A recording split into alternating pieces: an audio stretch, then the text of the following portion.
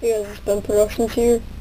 I'm going to be showing you an easy glitch in my Gangstar Miami Vindication. So, um, it's an invincibility glitch. It's right in the hospital, so it's really easy to find. You see these stairs? Well, go to the one that's closer to the street. Right here.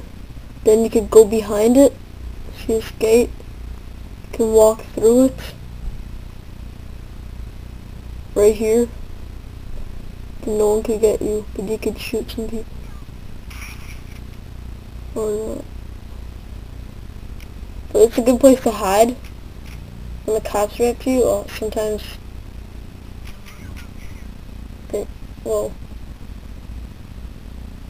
oh no, no, that's not much. So, just come up to this gate, There's recycling bins, just walk in.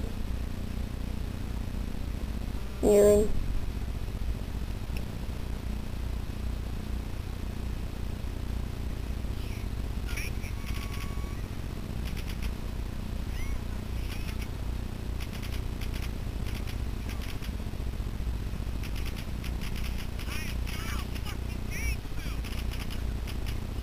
Alright.